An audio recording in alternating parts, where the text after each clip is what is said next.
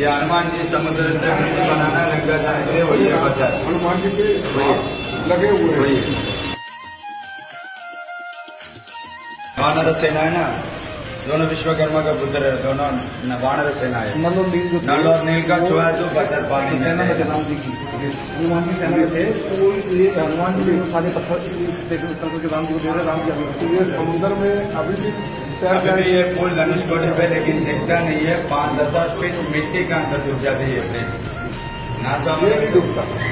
ये पूरा तैरने वाला पत्थर है। ये पत्थर आज भी पानी में तैरता है। तैरता है।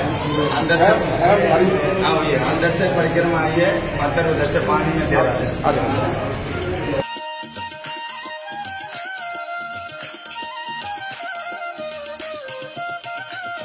ये जो मूर्ति है ना ये 1902 में तूफ़ान के बाद में मिली थी। उससे भी पुरानी मूर्ति मिली पुरानी ऐतिहासिक मूर्ति। है पहाड़ वाली।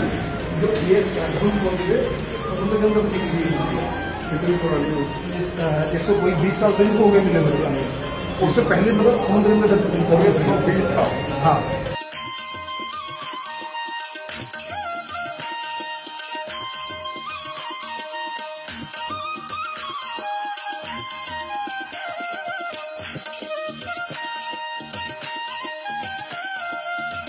ये राम सेतु पत्थर है भैया। हनुमान जी समुद्र से ब्रिज बनाना लंका जाने के लिए, श्रीलंका जाने के लिए। वही है पत्थर, पानी में तेरा। ये आज का पत्थर। ये आज का पत्थर। अभी भी मिलता धनुषकोटी पे ये पत्थर। आज का पत्थर तैरता नहीं है, डूब जाती है। ये हनुमान जी सेतु बनाए के टाइम पे नल, नील, दोनों वानर सेना।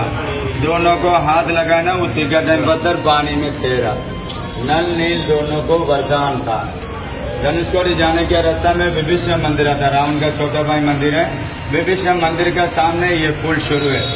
इंडिया टू श्रीलंका बीच में ब्लू लाइन दिखता ना सेंट्रल पिक्चर में। ये राम सेतु लेकिन देखता नहीं है। पाँच हज़ार फीट मिट्टी के अंदर डूब जाती है ये सिक्सटी 1964 धनुषकोडी में बड़े तूफ़ान आ जाना तूफ़ान का टाइम तब से बारना वाला छोटे छोटे टुकड़े आई है पूरा। मठ लोग धनुषकोडी समुद्र से लेकर तरह का पूजा करना पड़ेगा। ये मंदिर नहीं है 700 साल पुराने वाले है। साधु संदलों का आश्रम है